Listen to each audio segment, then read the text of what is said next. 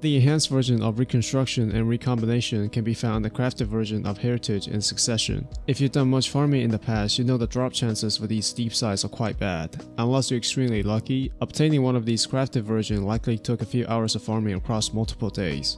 But are the two enhanced perks worth the hours of grinding? The enhanced version of Reconstruction states, this weapon reloads itself at an improved rate over time, up to double capacity.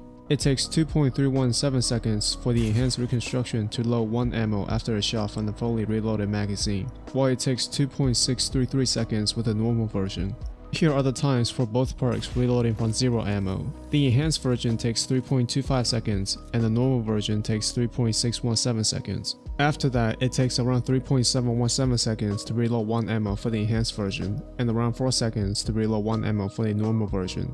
That's only 7.6% faster. Reloading a total of 16 ammo, it takes about 63.767 seconds for the normal reconstruction and 58.917 seconds for the enhanced reconstruction. The enhanced version of Recombination states, Elemental Final Blows increase the damage of this weapon's next shot. Damage accelerates faster. The recombination stacks from kills remains the same at 1 stack per kill, but the enhanced version reaches the maximum damage quicker at times 8 as opposed to times 10 with the normal version. Here are all of the damage numbers.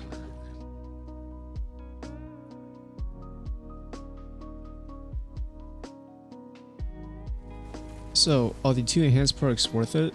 Well, the improvements are negligible for the most of us, and not worth dedicating hours of time farming the deepsights. There are no needs for farming deepsights if you already have good rolls that are satisfied with. But if you're like me still looking for the non-crafted god roll, farming the encounter can be worth it, and deepsights are just bonuses.